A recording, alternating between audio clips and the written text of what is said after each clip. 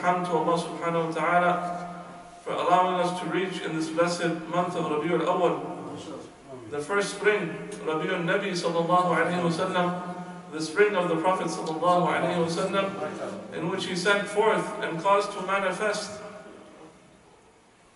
the greatest manifestation of his mercy, the greatest manifestation of his fadl, the greatest manifestation of the guidance of Allah subhanahu wa ta'ala, the greatest manifestation of the generosity of Allah subhanahu wa ta'ala, the greatest manifestation of the ihsan of Allah subhanahu wa ta'ala, the greatest manifestation of the ma'rifah of Allah subhanahu wa ta'ala, our beloved Prophet Muhammad sallallahu alayhi wa sallam. As Allah subhanahu wa ta'ala tells us in the Quran, لَقَدْ مَنَّ اللَّهُ عَلَى الْمُؤْمِنِينَ That indeed, لَقَدْ emphasis, Allah subhanahu wa ta'ala has bestowed many favors upon the creation.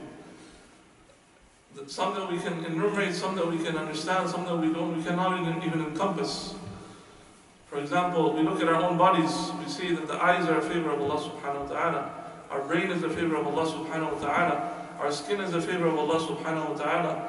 Our nose and, and our, these are just the parts, but the senses that go along with them are favors of Allah subhanahu wa ta'ala. But if we look at the Quran and the address of Allah subhanahu wa ta'ala to His creation, He did not remind, He reminds of the favors of Allah, but He did not say that we have to repay any of these favors of Allah subhanahu wa ta'ala. For example, when Allah subhanahu wa ta'ala, He does, He, he manifests His generosity upon His creation by giving us these gifts, none of them were mentioned as the, the greatest gift that Allah subhanahu wa ta'ala sent, which was the Prophet sallallahu alaihi wasallam. As Allah subhanahu wa ta'ala says, لَقَدْ مَنَّ اللَّهُ عَلَى الْمُؤْمِنِينَ That indeed Allah subhanahu wa ta'ala has done a great favor upon the believers. إِذْ بَعَثَ فِيهِمْ رَسُولًا When He sent from amongst them a messenger, and a Nabi sallallahu alayhi wa sallam, a prophetic messenger, يَتْلُو عَلَيْهِمْ آيَاتِهِ That He recites to them the verses of Allah subhanahu wa ta'ala, وَيُزَكِّيهِمْ And He purifies them. Allahu Akbar. وَيُعَلِّمُهُمُ الْكِتَابَ وَالْحِكْمَةِ And He teaches the people the book of Allah subhanahu wa ta'ala, the Quran, والحكمة and the wisdom and the ulama and the mufassirin. They say the wisdom refers to His blessed sunnah, the sunnah of the Prophet sallallahu alaihi wasallam. وَإِن كَانُوا مِن قَبْلُ لَفِي ضَلَالٍ مُبِينٍ And before the sending of the Messenger of Allah sallallahu alaihi wasallam, indeed they were in a, in, in, in, in a, they were in, a, in, a, an error. They were in clear error. Allah subhanahu wa taala. They were misguided. So when we celebrate the birth of the Prophet sallallahu alaihi wasallam, we are celebrating guidance that Allah subhanahu wa ta'ala brought through His beloved Prophet sallallahu alaihi wasallam. We are celebrating Tawheed because it was, if it wasn't for the birth of the Prophet sallallahu alaihi wasallam, how would we know La ilaha illallah? How would we know ma'rifah of Allah subhanahu wa ta'ala?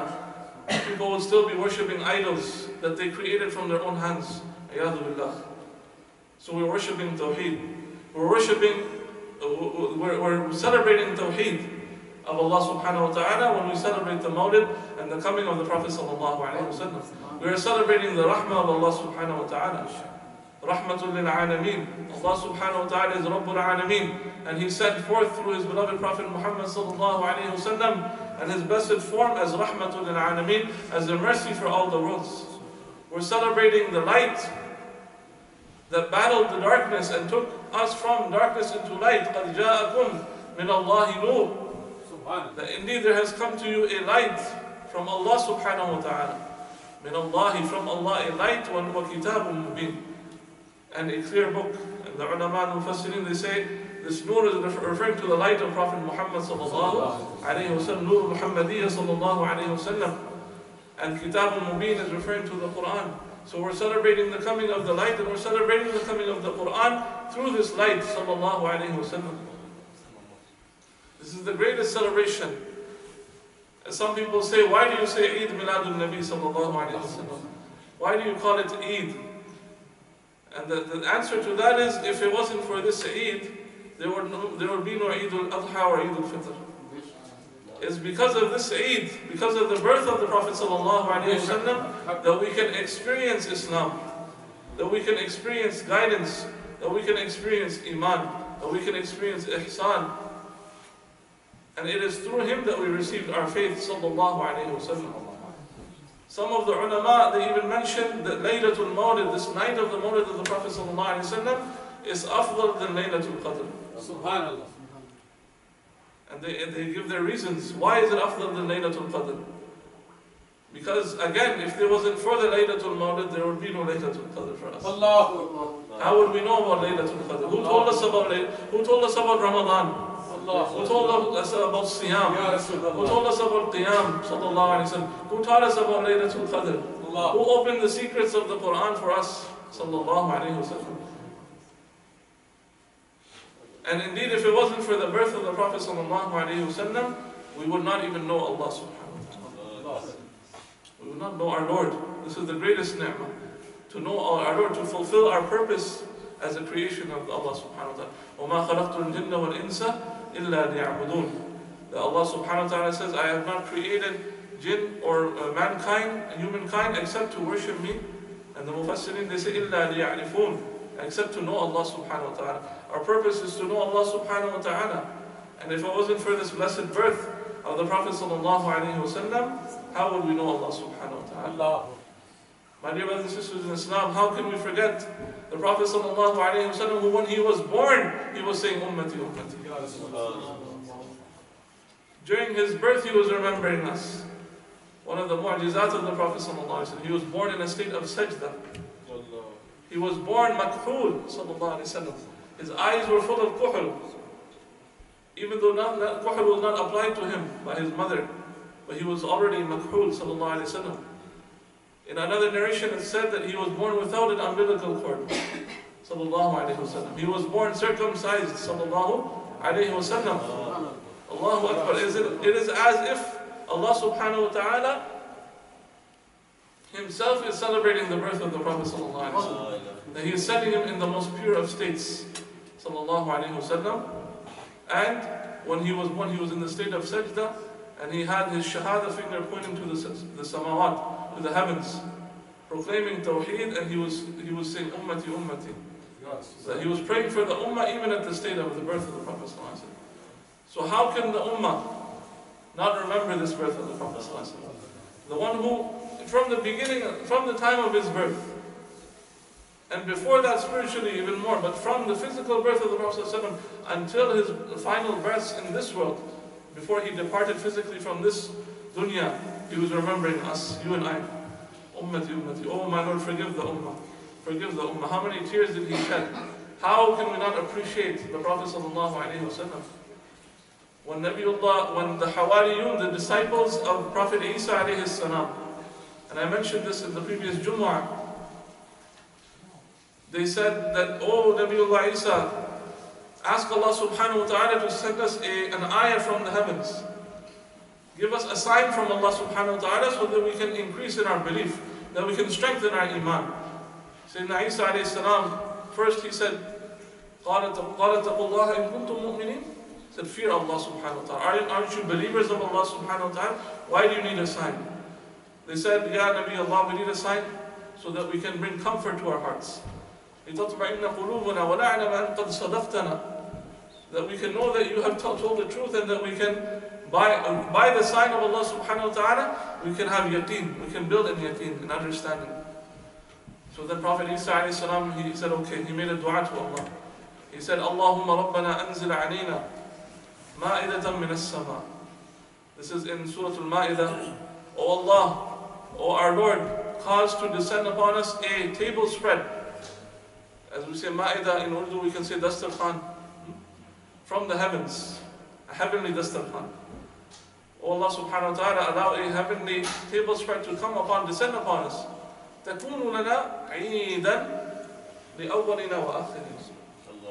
Look at the wording of Nabiullah Isa ibn Maryam alayhi salam. And this is not just a regular, this is the Nabi of Allah.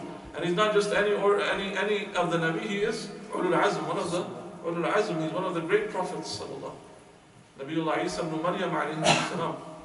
May Allah have mercy on him and his mother, Sayyidah Maryam alayhi salam. He said, Ya Allah, make this table spread and what you're sending on it, the foods and the blessed fruits of heaven and the foods that we're going to eat from, make it a celebration for us. تَكُونُ لَنَا عِيدًا لِأَوَّلِنَا وَآخِرِنَا For the first of us and the last of us. وَآيَةً مِنْكَ يَا Allah. وَآيَةً مِنْكَ And it is a sign from you, Allah subhanahu wa ta'ala. وَرْزُقْنَا وَأَنْتَ خَيْرُ الرَّازِقِينَ and provide us, and indeed you are the, the best of providers, Ya Allah subhanahu wa ta'ala. So my dear brothers and sisters in Islam, if a table spread coming from the heavens, with heavenly fruits and, and dishes, is a sign from Allah subhanahu wa ta'ala. And it is a cause of celebration, Eid, as said by Prophet Nabiullah. Then what is a greater sign? The table spread from Allah or Sayyidina Muhammad Rasulullah? The Prophet sallallahu alayhi wasallam, وَمَنْ هُوَ الْآيَةُ الْكُبْرَى لِمُعْتَبِرٍ وَمَنْ هُوَ النِّعْمَةُ الْعُظْمَى لِمُغْتَنِمٍ As Imam al-Busiri, rahimahullah, he says in his Qasidat al-Burda, the Prophet sallallahu alayhi wasallam is the greatest ayah, he is the greatest sign of Allah subhanahu wa ta'ala. Subhanallah. So if the table spread was being celebrated, then this nur and this rahmah which is coming from Allah subhanahu wa ta'ala, through whom we received guidance, through whom Allah subhanahu wa ta'ala took the creation out of darkness and into light. This is the greater ayah of Allah subhanahu wa ta'ala, and He has more right to be celebrated. This is why we say Eid Miladul Nabi sallallahu alayhi wa. This is why we celebrate, we commemorate. This is not a bid'ah, this is not shirk. You cannot commit shirk if you're celebrating the wiladat of somebody. If you're celebrating the mawlud of somebody, you're automatically dismantling shirk You're automatically denying shirk. Because Allah subhanahu wa ta'ala, الَّذِي لَمْ يَلِدْ وَلَمْ يُولَدْ Allah subhanahu wa ta'ala is not born, He does not give birth, He was not born. Subhanahu wa ta'ala. So by celebrating the birth of Rasulullah sallallahu alayhi wa alihi wa sallam, we are strengthening our tawheed. We are strengthening our yaqeen in Allah subhanahu wa ta'ala. Alhamdulillah, may Allah subhanahu wa ta'ala accept this gathering. Ameen. Allahumma rabbil alameen. May Allah subhanahu wa ta'ala increase us in connection to His Habib sallallahu alayhi wa sallam. May Allah subhanahu wa ta'ala allow us to rejoice. This is the commandment of Allah subhanahu wa ta'ala. فَلْيَفْرَحُوا We have to be happy about it. Anybody, any Muslim or mu'min who is happy at the birth of Rasulullah is celebrating Muhammad. MashaAllah, MashaAllah. Doesn't matter if you're here or not. Automatically, you are a celebrator of the Mawlid of Nabi sallallahu alaihi wasallam. You might say, no, I don't celebrate. But if you're happy at the birth of Rasulullah, marhaban, we love you because we love Rasulullah. Nare Takbir! Oh. Nare Risalat! Right? And how can we not be happy at the birth of Rasulullah sallallahu alaihi wasallam? Allahu Akbar. Only a sick heart cannot be happy. There. Only a person who is linked to shaitan. You know, shaitan only cried a few times, loud. He yelled, he screamed. Only a few times in history. And the ulama say one of those times was at the birth of Rasulullah. So if you are one of those who are crying and you're sad at the birth of Rasulullah, then question yourself. Which side are you on? But if you are those who are saying, Ya Rasulullah, Allahumma salli wa sallim wa barik alayhi, in any form or word you're praising the Prophet sallallahu alayhi wa sallam, then you are on the side of the mu'mineen you're on the side of those who are pleased in the presence of Allah those, those whose pleasure Allah subhanahu wa ta'ala's pleasure is depending on is, is descending on them. Is descending on those people. Allah subhanahu wa ta'ala is pleased with those people who love his beloved Prophet sallallahu May Allah subhanahu wa ta'ala make us from among them, Ya Allah subhanahu wa ta'ala accept all the gatherings of the Milad Nabi sallallahu alaihi wasallam in our city and throughout the world. Throughout the world, is, throughout the physical world, the birth of the Prophet sallallahu alaihi wasallam is being celebrated, and throughout the spiritual world, it is being celebrated. Even in the heavens, it is being celebrated. Even the malaika are happy. They're happy at the birth of the Prophet sallallahu alaihi wasallam, and they look for the gatherings. They look and they, they, the sayyaheen, the special malaika who look for the gatherings in which Allah and His Habib are mentioned, are remembered, and they go and they encompass those gatherings. They encompass with their wings and then they all take part. Allahu Akbar. And then they go to Allah subhanahu wa ta'ala and they tell them what, what they have seen, even though Allah knows everything. But He questions them. What did you see, Allah? They're remembering you, they're remembering your Habib sallallahu alayhi wa. They're asking you for your forgiveness, they're asking for Jannah, they're asking for, uh, for protection from the fire. And then Allah subhanahu wa ta'ala asked them, Have they seen the Jannah? Have they seen? And likewise, we can say, Have we seen the Prophet? sallallahu alaihi wasallam? Sallallahu. Alhamdulillah, some of us have been blessed to see him in a dream, but many of us have not seen him, but still we're here. Yes. Still we're here. This is our connection to the Prophet. sallallahu alaihi wasallam. MashaAllah. This is our iman in the Prophet. sallallahu alaihi wasallam. This is our love for the Prophet. sallallahu alaihi wasallam. And may Allah subhanahu wa ta'ala give us a vision of the Prophet. Ameen. sallallahu alaihi wasallam. Always in our dreams and wakeful states, Ya Rabbil Alameen. And in Yawm al-Qiyamah, may Allah subhanahu wa ta'ala raise us and resurrect us with Him. Sallallahu alayhi wa sallam. Allow us to enter Jannah with Him, Ya Rabbil Alameen. Allah subhanahu wa ta'ala fulfill all our noble intentions. Ameen, Ya. Allah subhanahu wa ta'ala complete the construction of this masjid, Ya Rabbil Alameen. Qariban Ya Qareeb, inshallah, as soon as possible, Ya Rabbil Alameen. And make it a markaz and a, a markaz of nur and light and a markaz of the love of Allah and the Prophet sallallahu Ameen, Ya Rabbi. alayhi wa sallam, Ya Rabbil Alameen. May Allah subhanahu wa ta'ala bless all of us and those who could not come. May Allah subhanahu wa ta'ala bless them as well. Ameen, Ya Allah subhanahu wa ta'ala raise the darajat the Shaykh Ahmad al-Qata'ani, a great Shaykh from Libya who's passed from this world. He was a great mufti and an alim and wali and mashallah. eh, Dr. Jamal told me about him. May Allah subhanahu wa ta'ala raise his darajat. May Allah subhanahu wa ta'ala, inshallah, Allah give him Jannatul Firdaus al-A'la with the Prophet sallallahu alayhi wa sallam. May Allah subhanahu wa ta'ala grant shifa and afiyah to all those who are sick and suffering. Brother Nasruddin, uh, he is not well, he has cancer. May Allah subhanahu wa ta'ala give him shifa afiyah and a quick recovery. Likewise, any of us who are suffering in any form or way, may Allah give them a complete and quick recovery. May Allah subhanahu wa ta'ala raise the darajat of all those who have passed away from the ummah of the Prophet sallallahu alayhi wa sallam. ببركة هذا المجلس المبارك المولد الشريف صلى الله عليه وسلم اللهم اقض حوائجنا يا رب العالمين برحمتك يا أرحم الراحمين ويا أكرم الأكرمين وصلى الله على سيدنا محمد وعلى آله وصحبه وسلم الحمد